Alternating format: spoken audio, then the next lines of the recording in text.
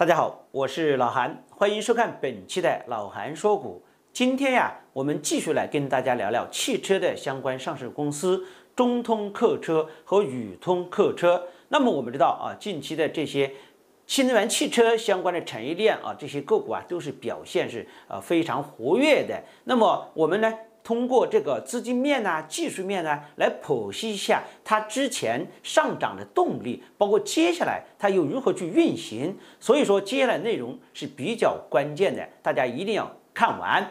当然了，新朋友啊，一定要点个关注，因为关注不迷路。老朋友呢，继续点赞，以此鼓励。若是有些粉丝朋友想要跟老韩进行一个更深层次的交流，大家可以去关注老韩说股盘后的文章。那么在盘后的文章里，老韩对每天的大盘都有进行一个分析，特别是这两天大盘啊出现了这样一个破位下跌。那么接下来何去何从？那么文章里啊都有进行一个详细的分析，还有就是对每天的这个龙虎榜数据、资金面也有一个全方位的解读。所以说啊，对老韩说股的这个文章啊，大家也可以去看一看。好，我们回到这个新能源车这个产业链的相关上市公司，那么中通客车上。那么中通客车，我们知道啊，它是主要是做这些客车大中型这些客车的，而且它是属于山东国资委这个的，是吧？所以说属于它旗下的。那么它这几年的经营业绩情况怎么样呢？我们来看一下，在前年的时候，它是出现了亏损，业绩是大幅下滑的。但是到了去年，大家看到没有啊？开始赚钱了，业绩大幅的这个增长。截止到今年一季度。依旧是啊，是挣钱的，而且也是呈现一个大幅正增长的，而且它这个中报也是预披露了，也是大幅增长的。所以说它这个业绩从这几年来看啊，是每年有所向好的。特别是去年，大家也知道啊，去年是它也是受到这个市场的关注，因为是口罩事件，是吧？它有做这个相关的这些。车子啊，啊，所以说对它也是增厚它的业绩。那么整体来说啊，老韩一直强调大家，无论基本面的好坏，还是消息面的多空，最终都是要体现在 K 线图上的。因为市场行为涵盖了一切信息，市场才是最好的老师，是不是？那么我们来看一下中通客车的月 K 线图。那么中通客车在二零一六年之前。是吧？也就是从不到两块钱涨到了二十五块钱附近，是吧？也涨了十倍以上啊！所以说，这对于这家上市公司啊，它本身就是有这种大幅上涨的基因。所以说，它从二零一六年回落调整下来，那么我们看到，在去年的时候，就是再次迎来了一波大涨，也就是大概从四块钱涨到了二十八块钱。那也涨了将近七倍，是不是这样呢？随后就出现了这样一个标志性的一个顶部的 K 线形态出现了调整，那么只是到今年到了九块钱这个位置才开始止跌，止跌。目前来看，五月份啊止跌的，到六月份开始反弹，到七月份还是继续去反弹。截止到目前啊，所以说从月线上。我们看到的是啊，它从真正的也就是前面大概是四块钱，去年啊前面四块钱迎来一波反弹，随后调整，调整单调整是缩量调整，所以说目前来看，它在九块钱是受到支撑。那么截止到六月，截止到目前七月份出现了这样一个反弹，所以说如果说它要继续去反弹的话，必须要量能要跟上啊。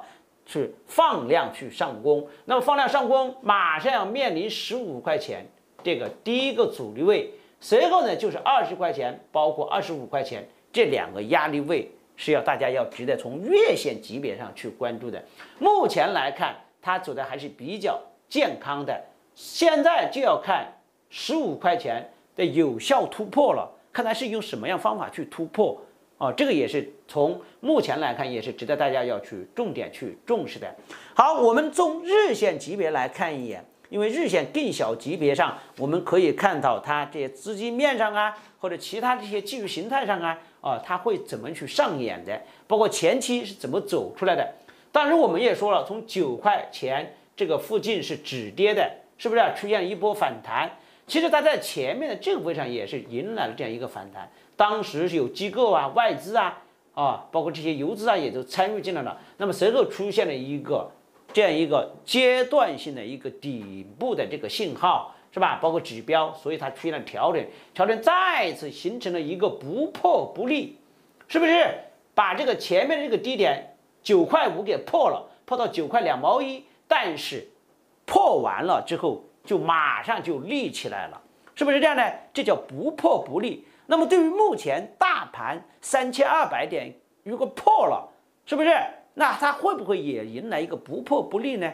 啊，这也是相通的，好吧？那么我们看到它在这步上迎来了这样一个带量的一个反弹，随后又横盘震荡缩量，缩量之后再次去放量去上涨。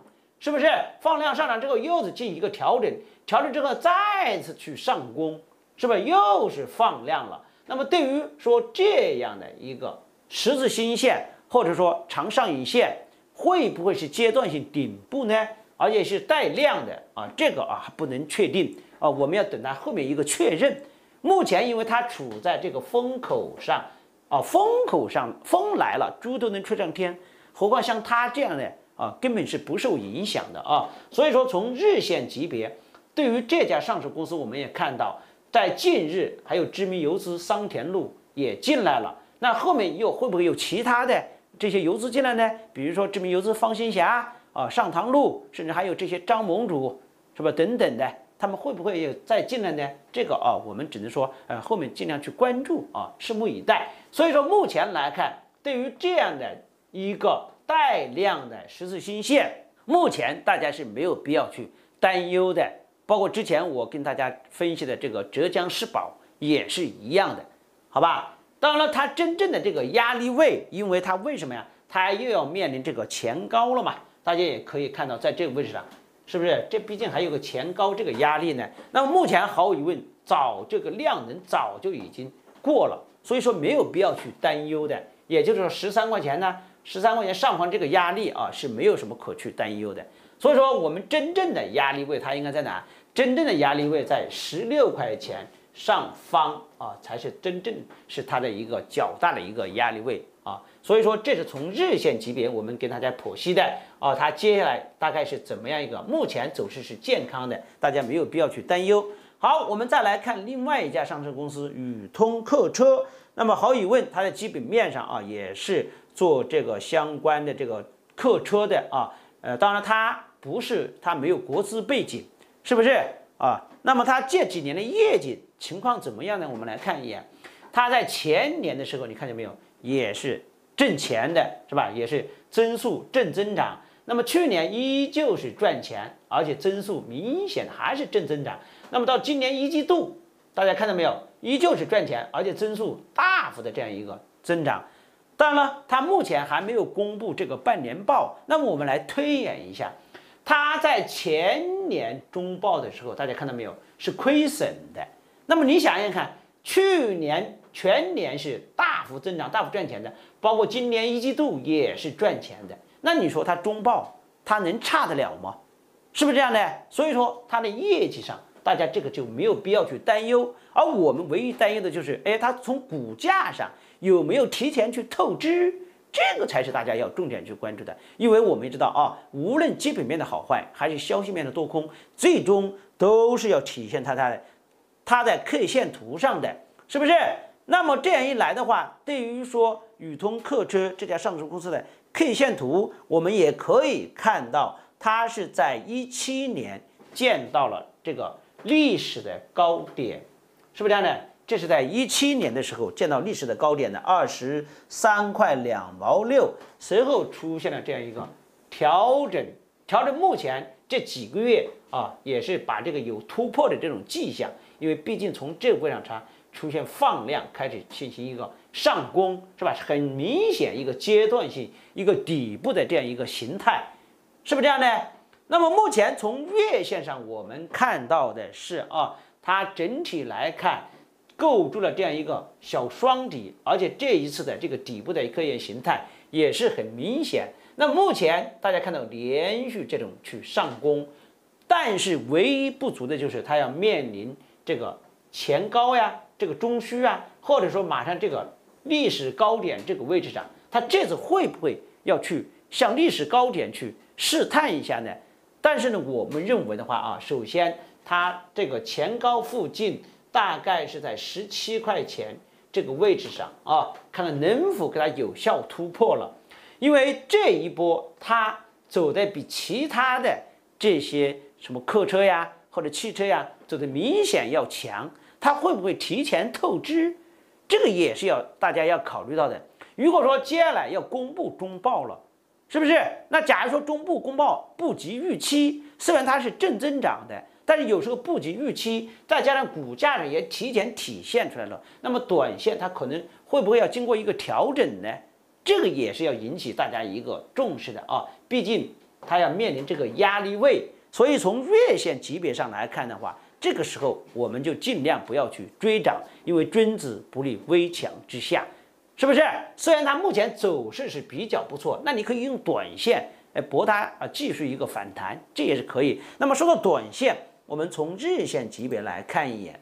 那么日线级别大家看到没有？它就一直是吧，一路震荡上行，看到没有？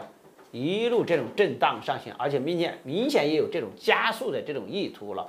所以说这两天调整，大家也没有必要去担忧，它依旧处于这个上升趋势当中，是不是这样的？只是说它这个十五块两毛五会不会是一个阶段性高点，这个还是有待去确认的。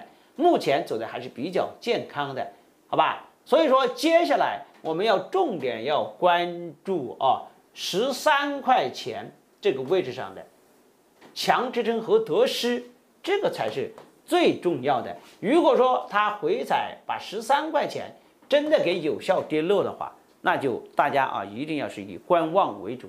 如果说它受到十四块钱这个支撑又开始反弹，那往上走，大家呢可以适当的可以去关注一下。但是呢，也要谨防它这个接下来这个业绩，假如说不如预期，而且它又提前透支了，是不是？它整体来说的话，它的风险啊，还是相对来说机会来说还是比较大的。因为我们知道嘛，刚才从月线上来看，它连续在出现大涨，又要面临这个那么前高的这个压力位，所以说对于这样的一个标的啊，我们要想这个位置上，因为知道你可以按照趋势去应对它。但是目前它整体来说，它走的是比较高。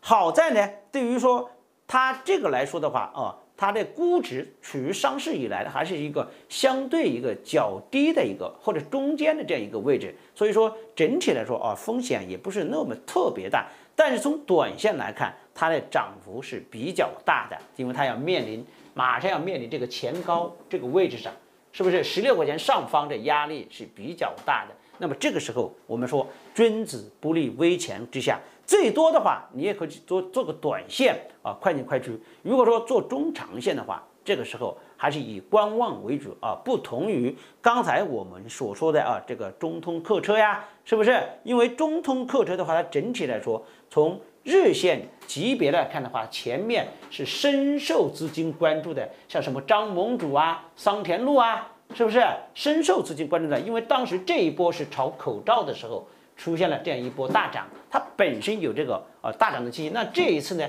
它会不会再小涨一波呢？这个所以说这个也是要值得大家去关注了。当然了，以上的分析啊，仅是老韩个人的一个观点，不作为大家投资的建议。如果大家有什么问题，可以在评论区给我留言，我会第一时间回复你。没有问题的朋友们，大家可以打一个八八八，让我们一起发发发。